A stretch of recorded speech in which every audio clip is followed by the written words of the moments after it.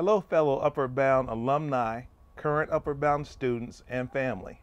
My name is Kevin Hill, and I attended the Upward Bound program from 1984 through 1986. I graduated from Wichita South High, class of 1986, go Titans, and attended Wichita State University. Now, I did not graduate with a degree, but I did complete three years and a half years of college before taking a job in the television field at KAKE TV in Wichita, which was basically my dream job and has taken me all over the world. But I think my story is still a valuable testimony about the influence of Upward Bound that it had on my life. Upward Bound came at a perfect time in my life. A year prior to coming to Upward Bound, my father lost his battle with prostate cancer. And as you can assume, a young 15 year old uh, young man without his father, you're going to go through some trials and tribulations. And you could either go down the wrong path or the right path.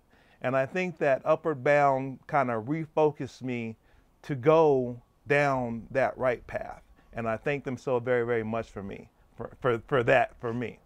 Upward Bound, the staff, and especially Delta Colvin expected so much from me that it righted me from that path.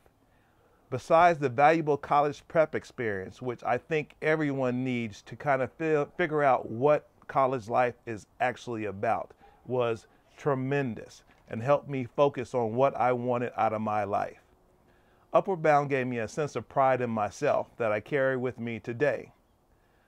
Today, I use that focus, expectation, and pride in myself to run my own business here in Atlanta, Georgia and I try to instill those same gifts in my children and all that I touch.